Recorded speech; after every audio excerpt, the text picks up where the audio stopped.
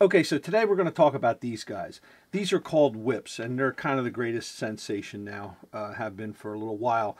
And this is uh, one of the ones made by uh, a very famous brand name. I'm not going to say the brand name, but let me just tell you about these, and then I'm going to show you how to make these and make them like really cheap because it, they're just so simple. So uh, I've seen a lot of uh, photographers and uh, vloggers, you know, using these. I've seen some people using them in person, and I've seen some people using them online.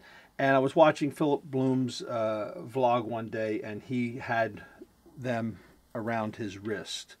And he said, you know, they're great to have on hand uh, for tying stuff down and I thought, yeah, how many times am I looking for gaffer's tape? You know, how many times I'm, I'm constantly looking for gaffer's tape.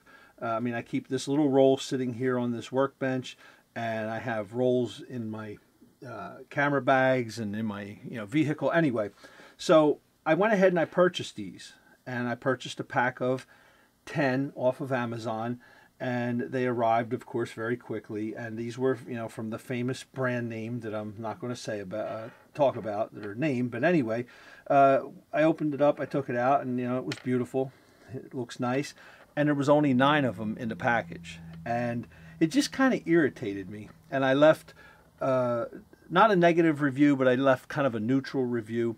And within uh, like a few hours, actually, uh, I was credited 88 cents and so I went back and I changed the review, and it just kind of rubbed me the wrong way. It just irritated me. And but I just, you know, I said, okay, I got nine of them. So right away, like within a day or so after having them, I noticed that, uh, you know, you can they're, they're just one size, and you can change this part of it, you know, to tighten it. But I needed something to wrap around the Ronin. I wanted to use this to lock the Ronin when I'm just like moving it around and, and in transit, and it was too short. And I tried linking them together, and that was just kind of uh, fumbly. So what I did was I went ahead and purchased the material myself off of Amazon, and then you can make them however long you want to make them. And that was it was just the greatest thing. So what I did was I went on Amazon and I purchased a couple different colors here and then purchased of course the little buckles or whatever you want to adjusters whatever you want to call these so simply put i'm going to put all the links to this stuff down below but simply put i went with two different colors and i'll talk about that in a minute uh, this is eighth inch. I don't know. Let's see. Get, get, my camera here if the camera can get this, but it's a one eighth inch shock cord, uh, and, and, you get hundred feet for like 18 bucks. And again, same size, uh, 100 feet for 18 bucks. And I went with two different colors for a couple of reasons. I went with two different colors because the black just makes get the black ones out here. The black are just it's like inconspicuous.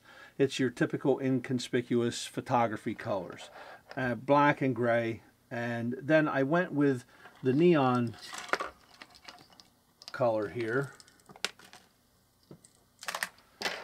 And that is when I don't want to be inconspicuous, when I want to put them in a place where I want to be able to see them, maybe for a safety reason or whatever, but I just went with two different colors. And eventually I may get get a third color that's a little more neutral, like a, a, tan or something. But anyway, this is what I went with. And you can literally just make them any size that you want to make them. And that's like the most amazing thing. So I made up a couple long ones. Uh, this, this longest one is for the Ronin. And they're great. Now, with that said, I also made up smaller ones. And the smaller ones, I, I actually find that I use these more than I use these. Okay, these are awesome, and I you know use them a lot. But I find that I use these little ones like this. I use them all the time for cable management, for just wrapping stuff up. Uh, just, I mean, it, there's just so many things you can use them for that I can't even begin to just uh, rattle off the list. It would just go on forever. So I, you know, you keep them. They can get kind of out of hand, so I keep them kind of uh, held together with one. Isn't that appropriate? But yeah, I do. I keep like of of each of these sizes. I keep a few in the car hanging on the turn signal switch just in case I need them. I have them, you know, uh, I usually carry them in packs of 10 like this and you know, I'll throw some in the camera bag or in the gear bag. For lighting, they're great. You want to run cables for the flashes, uh, you know, for the studio strobes and things like that, and you want to latch that stuff down. They're great. And like now, look at this one. This guy, let's get him up here this guy got pinched and I don't know if hopefully the camera can see that but he got pinched. And I was closing a little door on something and it pinched and it cut the elastic inside and all you got to do is slide your buckle off take this part throw it in the garbage and here's another spool and again, this spool cost me like 15 or 16 bucks. Uh, the spools, the bigger spools were like $18 and you got 50 of one particular color of the, the cord adjusters for $19. So all total, I just thought it was a heck of a deal and you can just make a ton of this and you can make it in any size that you want to make it, which I think is, that is the best part about it. So have fun with it. So simple to make. I mean, you got to, all this is, is you're going to cut a piece of this shock cord.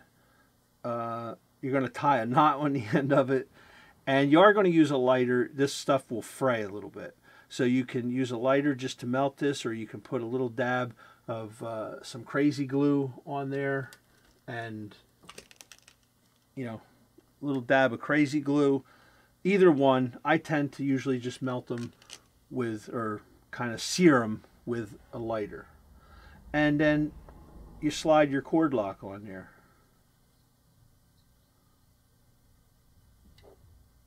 That's it. That's all there is to it. So, hey, if you like this video, hit like, hit subscribe, come back again. Um, I just thought this was a great little not not really a find, but just a, a great little idea that you know uh, they, they charged me like eleven or twelve dollars for ten of these, and I can just make tons of them and make them my own size. There's nothing wrong with these; they're great. They're, what I like about the brand name one is they have a dual color.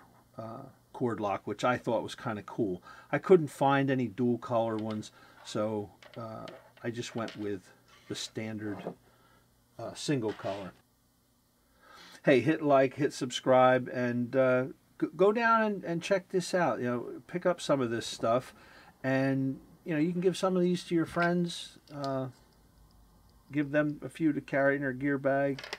You know, here was one uh, that I put a double cord lock on it. I, I, can't remember why I did that, but I, for some reason, I needed something that had two cord locks. So that's it.